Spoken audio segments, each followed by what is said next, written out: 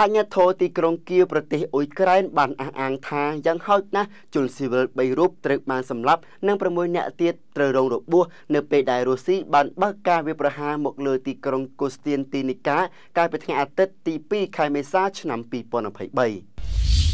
របាយការណ៍នៃការវាប្រហាសនេះគឺកើតមានឡើងក្រោយពេលដែលកងទ័ពអ៊ុយក្រែនកំពុងតែតស៊ូរុលទៅមុខប្រឆាំងនឹងការឈ្លានពានរបស់រុស្ស៊ីនៅក្នុងសមរភូមិភាគខាងកើតនៃប្រទេសអ៊ុយក្រែន ទីក្រុងកូស្ទៀនទីនីកាត្រូវបានគេដឹងថាគឺជាកន្លែងរស់នៅ របស់ប្រជាពលរដ្ឋប្រមាណជា70000នាក់ទីនោះមានចម្ងាយប្រមាណតែ20គីឡូម៉ែត្រពីភាគខាងលិចនៃទីក្រុងបាក់មូតដែលមកដល់ពេលនេះអ៊ុយក្រែនកំពុងតែទប់ទល់និងព្យាយាមវាយរុញច្រានទ័ពរុស្ស៊ីចេញទៅវិញ